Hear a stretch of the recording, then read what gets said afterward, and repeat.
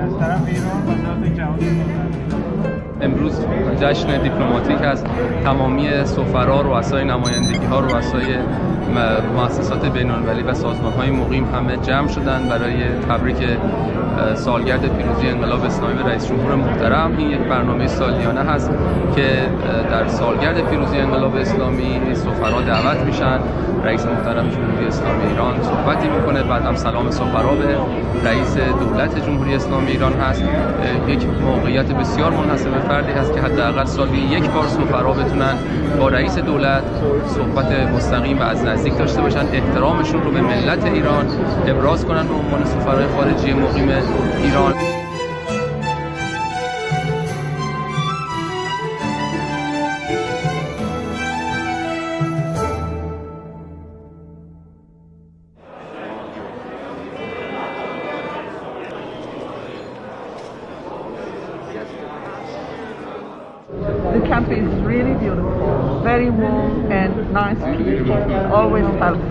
Helpful. For a foreigner, it's not easy. So I must say, this country is really has a history which makes the rules for the people. So for me, it's just wonderful people. Definitely, the simplicity of the people and uh, their friendliness to foreigners. I enjoy it the best part of Iran is really the people. Um, the people are kind, very welcoming, and very hospitable. I love how lyrical the language is, and of course, the history of Iran is just, you know, part of the history of humanity. I've traveled to Isfahan and Yazd and Mashhad and Qom, and I'm impressed you know, with the variety and, and, and, and differences that I have at the same time, you know, on this special day, the National Day celebrations uh, commemorating uh, the Islamic Revolution, uh, I very much appreciate the meeting with the with the president and look forward to conveying our best wishes on this occasion. أولا نبارك للشعب الإيراني قيادة وحكومة وشعبا بالذكرى الثالثة والأربعون لقيام الثورة الإسلامية الإيرانية تهنئتي من صميم قلبي للشعب الإيراني وللقيادة الإيرانية وللحكومة الإيرانية وللإمام المعظم خامنئي حفظه الله ورعاه ودام ظله الشريف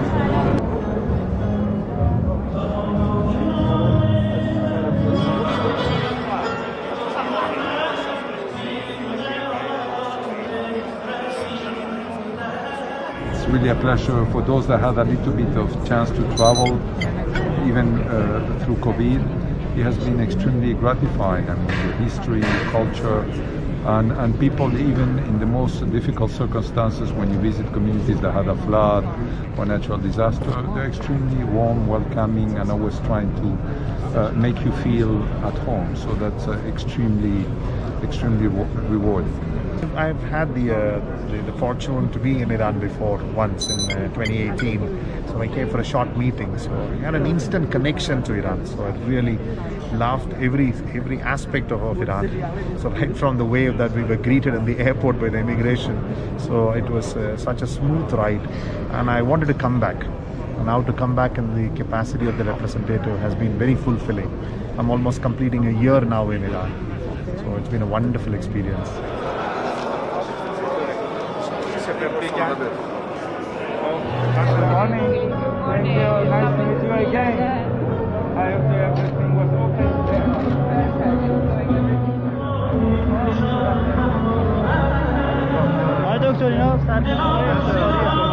شما در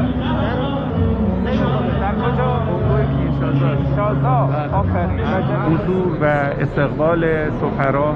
به صورت داوطلبانه انجام میشه. اینطور نیست که الزامی وجود داشته باشه. می‌تونن نیان مخصوصا الانی که شرایط کرونایی است توجیهاتی هم برای این مسئله دارن. این نشون دهنده نشاط دیپلماتیکی است که در تهران وجود داره و توجهی است که در روابط خارجی به مناسبات دو جانبه در دولت مردمی و تحولگرای آقای دکتر رئیسی به عمل آمده. Thank you. And congratulations. Thank you so much. Thank you. And the Bulgarian Thank you. Thank you. Thank you. افغانستان خیلی به شدت مستعده برای حضور از ایتالیا و کشور توی فضای بسیار بزرگ شریک هر دست Yes, it's the Netherlands ambassador. Congratulations. I'm the Netherlands ambassador. And congratulations. Nice to meet you. so much. Thank you for coming. Thank you for the invitation. I do that. Thank you so much. Thank you so much. What about my brother for me? Uh, congratulations is conveying to you. He has already sent to you a letter as well. Thank you very much. Warm wishes to you as well. All the best to you. Thank you. Thank you for your time. Thank you. Good morning. سلام سيدي السفير تونس الحمد لله الحمد لله أنا سعيد بلقائكم يعيشك أنا أكثر بل تحياتي لمعالي الوزير والرئيس إن شاء الله موفقين وإن شاء الله بجهودك توفق إن شاء الله Good morning. Good morning. سعادة السفير أهلا وسهلا. Good morning. Good morning, madam. Good morning. Good morning. Good morning. این محفل با نشاط دیپلماتیک گفتگوهای دو جانبه ای که انجام میشه. به هر حال یک فرصتی است برای دیپلماسی یک فرصتی است برای هماهنگی های هرچه بیشتر در حوزه روابط خارجی و روابط بین المللی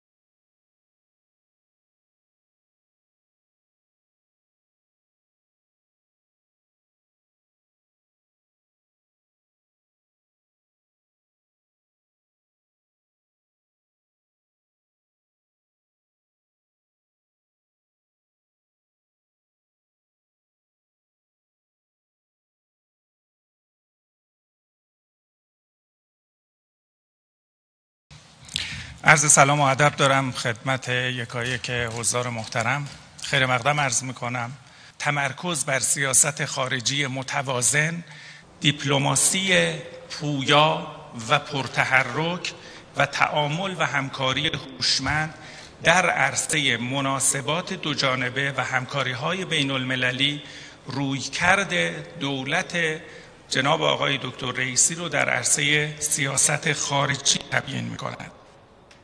43 سالگرد انقلاب بزرگ و شکوهمند اسلامی اسلامی را تبریک عرض نموده و از خداوند منان اقتدار هرچی بیشتر و با عزت برای این انقلاب و مردم شریف کشور را مسئلت دارم.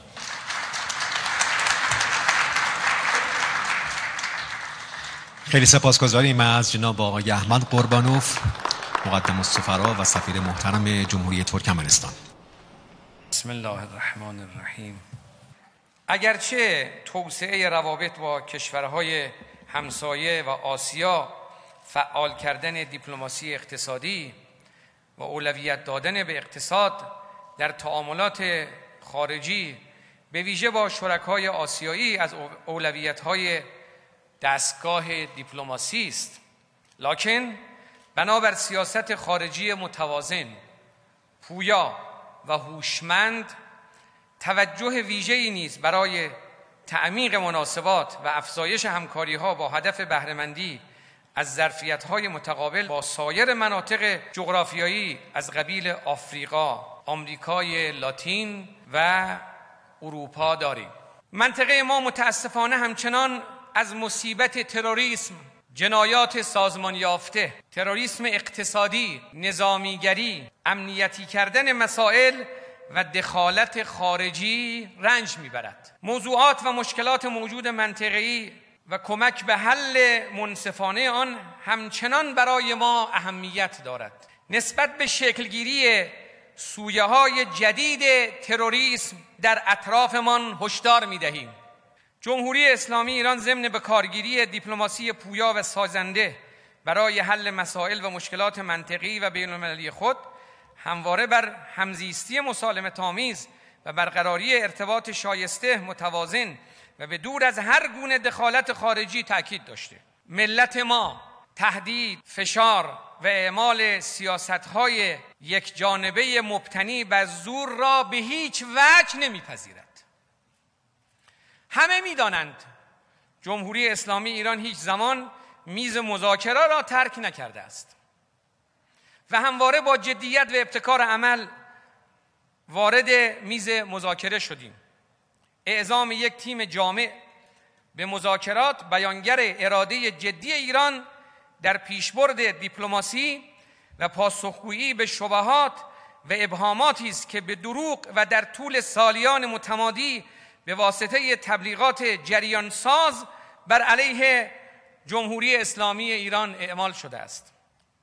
شرایط فعلی نتیجه عهد شکنی امریکایی ها و بیعملی و بعضا همراهی برخی از دولت‌های متعهد با سیاست‌های اعمالی و به دور از حسن نیت واشنگتن بوده است.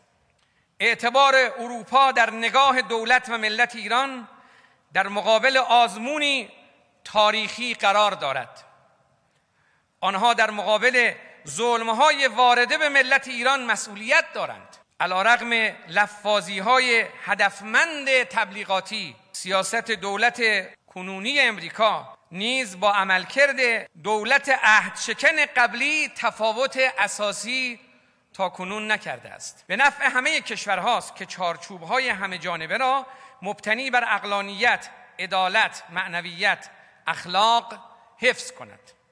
انتظار دارم پیام دوستی، مهربانی، صلح طلبی ملت متمدن با فرهنگ و مقاوم ایران اسلامی را به رهبران دولتها و ملتهای خود برسانید. و السلام علیکم و رحمت الله.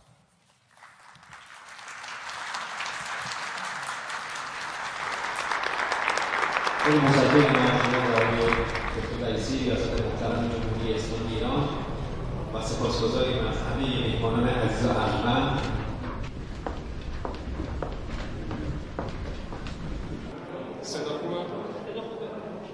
حسین قاسی شما سلام می‌دید سمت چپتون فرش قرمز در به خوش هستش یه سلام و پیگاه تبریک سلام. تبریک سلام تبریک سلام. هم سلام باز سلام. по этой схеме есть такая остановка будет и сюда вот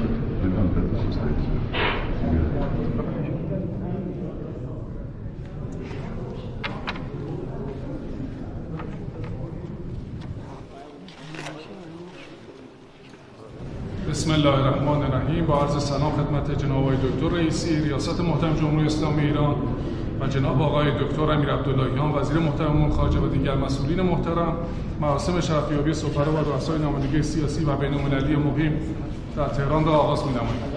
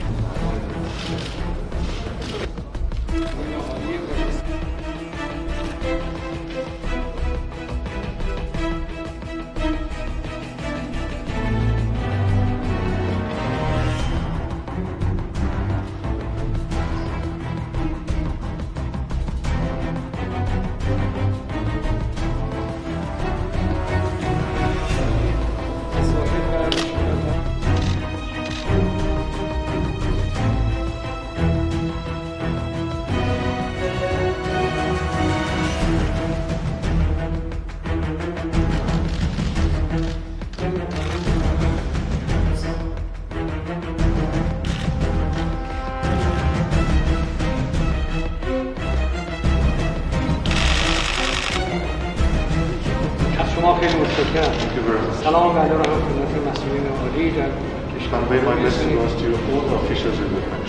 امیدوارم که روابط بین دو کشور هرچه بیشتر باشه و توسعه روابط بین دو کشور در حوزه های مختلف تجاری اقتصادی و سیاسی مورد تاکید است.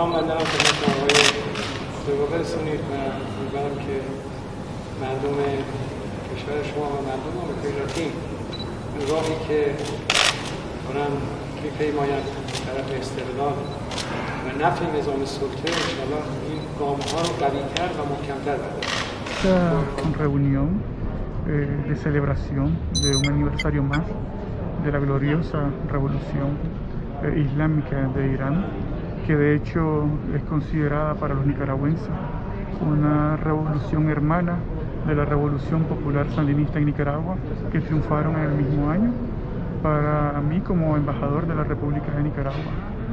Y nuestros gobiernos, eh, en su carácter revolucionario, es muy importante poder compartir con el presidente Raisi y los demás eh, eh, diplomáticos acreditados en Irán este aniversario tan importante, no solo para Irán, sino para la región de, de Asia Occidental.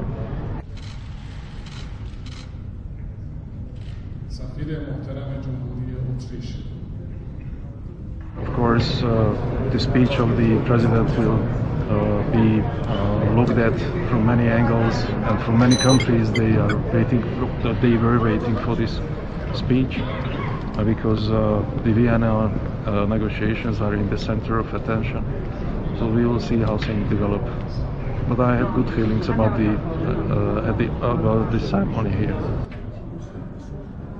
All the best. Thank you. Professor Wright, please. فرصت استفاده بردم می‌خواستم تمام مردم شریفی جمهوری اسلامی ایران را با این سنه مبارک تبریک و تهنیت گویم و آرزو دارم که اون پیشروی هایی که جمهوری اسلامی ایران در این 43 سالی قبل داشته بازم افزون گردد و ایران مثل که امروز رئیس محترم جمهوری عرض کردن با همه همسایه ها و تمام کشورهای دیگر دنیا در صلح و ثبات اون بسر ببرد تشکر. It was a good meeting because we Senegal people we are Islam. That's why when we celebrate the Islamic revolution we were happy to participate in this kind ceremony with uh, His Honorable uh, President uh, Dr. Ibrahim Araisi.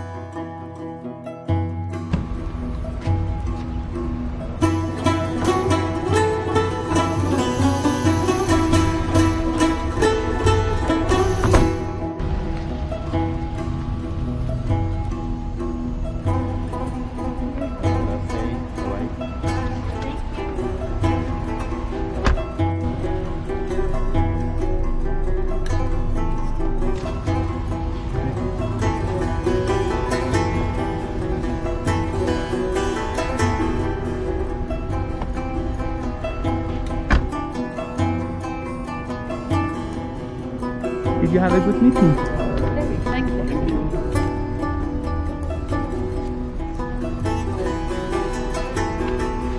ما طرفدار صلح و ثبات و امنیت در منطقه و جهان هستیم و می‌خواهیم همه ملت ها در صلح آرامش رفاه و شکوفایی زندگی کنند